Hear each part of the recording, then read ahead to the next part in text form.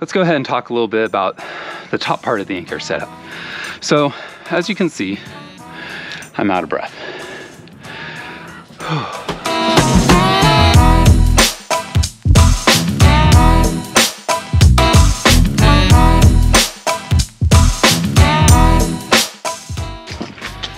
Hey there guys.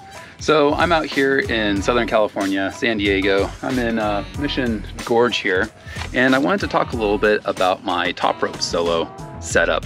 Now, top rope solo is when you are out climbing by yourself and the only form of protection that you have is the top rope, right? So you're basically solo climbing, there's nobody else around except for yourself, um, but you're still using a rope in case uh, you were to fall or let go while climbing. And I wanted to talk a little bit about what my setup is and how I do it um, out here when I want to climb by myself. So first off, this setup can be done in a couple different ways. Um, there are plenty of videos out there. I'm definitely not the first one to do a video on how to do this. You can do your own research. Matter of fact, I suggest that you do your own research because the stuff that you are needing to be aware of is definitely a more advanced level of techniques and knowledge and skill set. So this isn't for like the brand new climber who's tired of being at the gym and wants to go try climbing by themselves outdoors.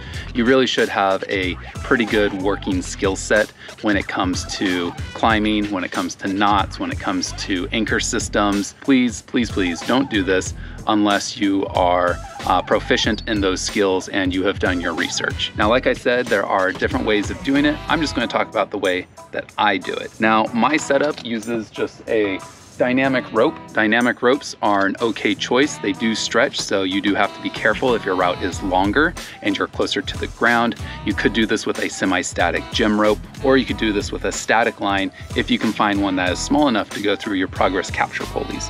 As of my current knowledge, there is no specific gear made specifically for top rope soloing. However, there are some commonly used pieces of gear that uh, we use to uh, achieve a top rope solo system. Now, probably one of the more common setups is to use the Petzl Micro Traxion.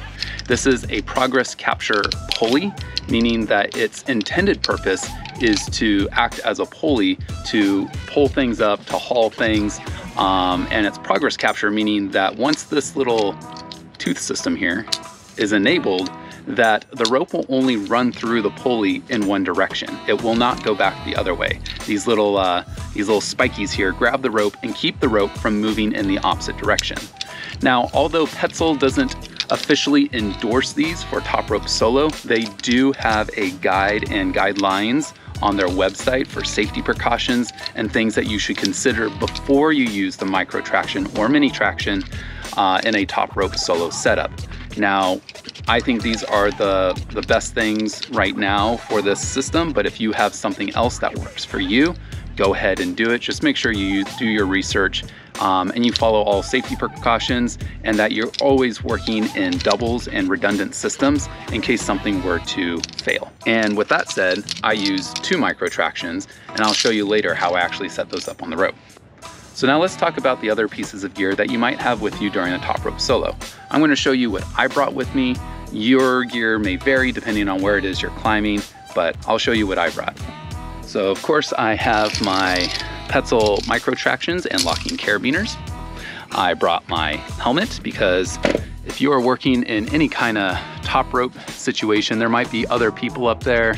Um, things could come falling down, hit you in the head. So it's always a good idea to have your your helmet with you.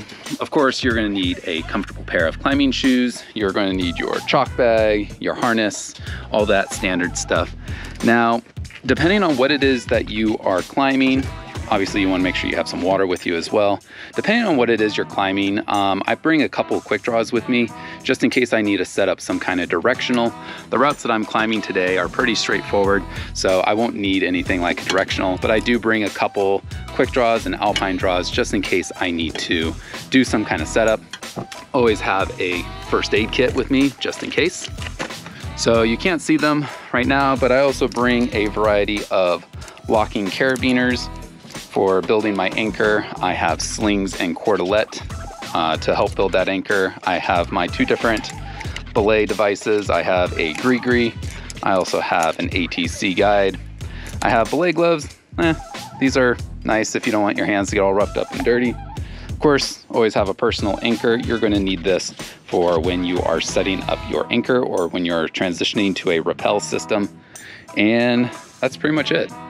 Okay, so for the bottom part of our rope here, we're gonna wanna make sure that there is something down here providing weight, pulling down on the rope.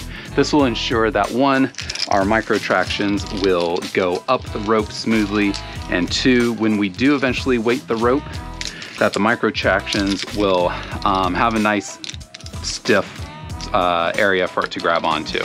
So basically, what's gonna happen is if there is plenty of weight on here, it will go up nice and smoothly.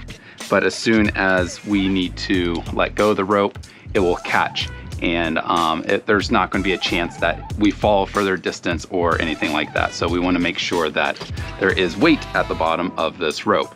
So in order to do that, what you can do many things. You can tie a backpack down at the end.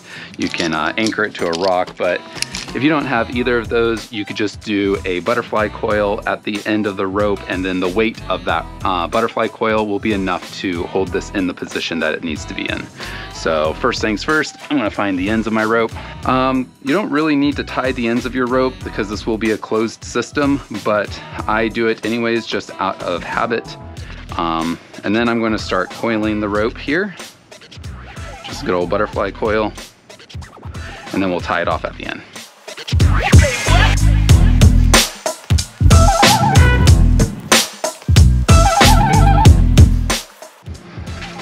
Right, now pass it through here. And we're gonna just go over it like that. All right, and there we go. Now we've got a weight at the end of our rope to keep these in a more, I guess, straight position. And then that way our Micro Traxions will work nicely on this. All right, now that I'm all geared up, let's go ahead and talk about actually attaching ourselves to the rope using the Micro Traxions. So I'm using two Petzl Micro Traxions attached to these uh, locking carabiners.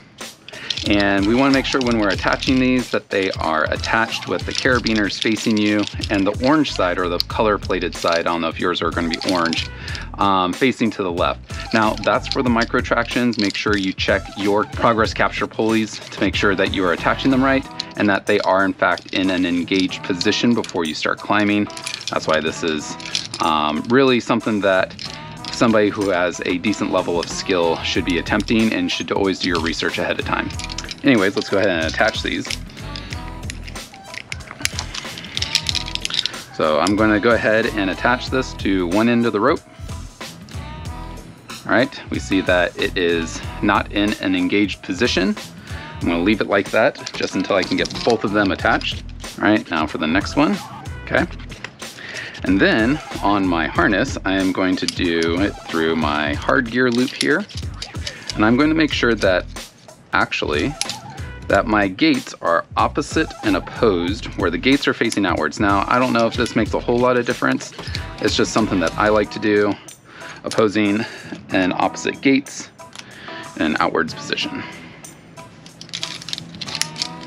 All right, both of these are now locked and now both of my progress capture devices are engaged. So I can see I move it up, move it up, but they don't come back down. So now we are ready to climb.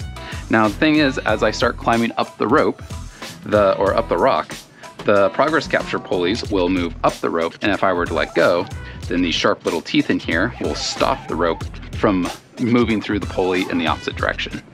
So let's go ahead and get started.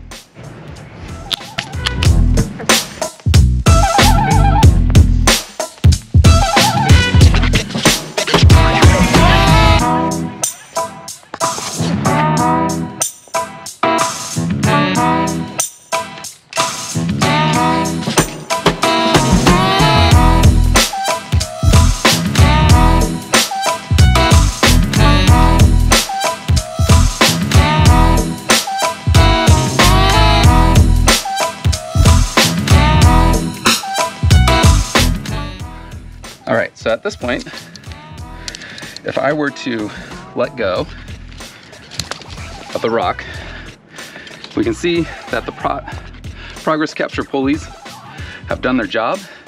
I have two of them just to be redundant in case one strand were to fail, I would have the other to capture me.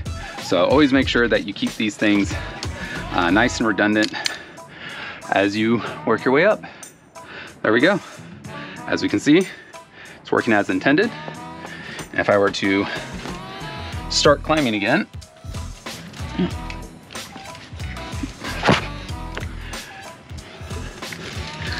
they move up with me.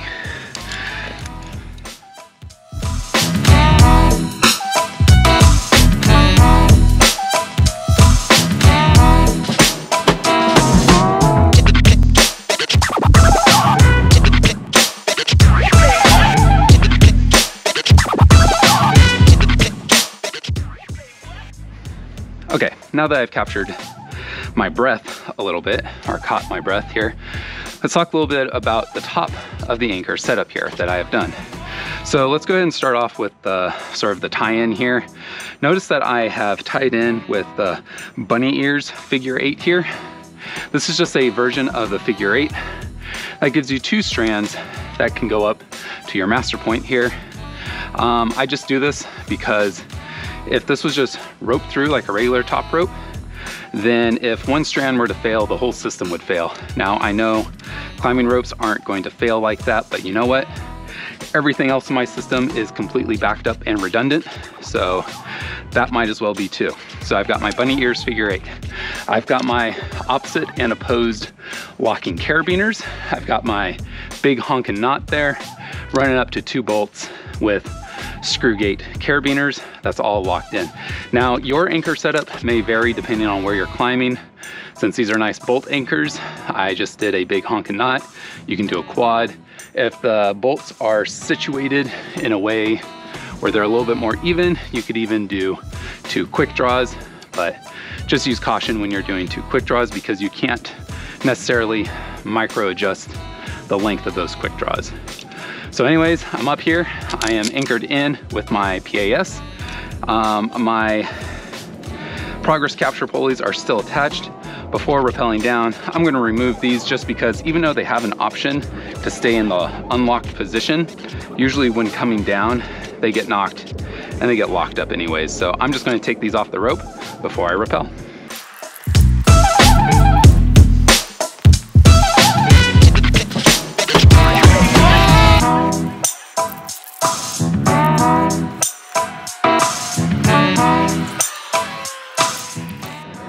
And even though it's a nice blue sunny day, no inclement weather, easy enough terrain here, I'm still gonna use my third hand as a backup for my rappel because one, it's good practice, and two, you just never know. There was a guy up here earlier setting up or stashing stuff for an anchor course, and I didn't know he was up here necessarily, so you know, that could have created a situation whether I was surprised or something fell and hit me while I am in the process of rappelling. So it's always good to have some sort of backup. And plus, now I can go hands-free on my rappel while my third hand holds me in place in case I have to make any adjustments on my way down.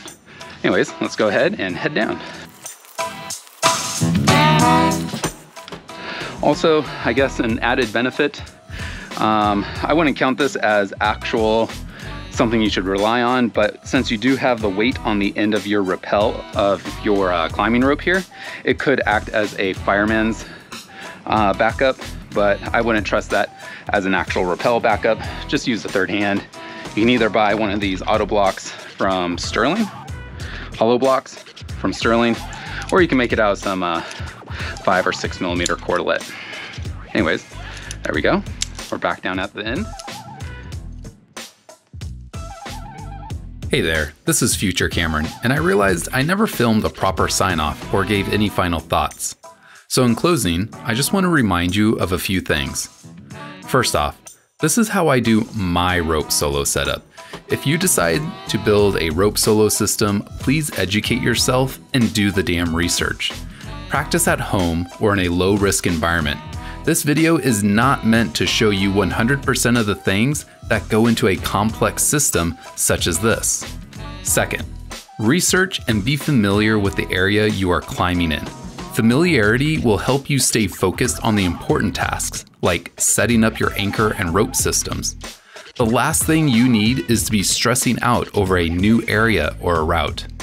Third, invest into your gear. There are no shortcuts when it comes to safety. Yes, $300 in new gear is cheaper than a hospital visit. It's worth your safety and your life to invest in the pieces needed to do something like this properly. And finally, just be safe and use your head. If you don't feel good or confident, then back out. The climbing will always be there, and rocks, they're pretty good at waiting for you. Anyways, thanks for watching, and I'll see you guys out at the crag. Stay safe.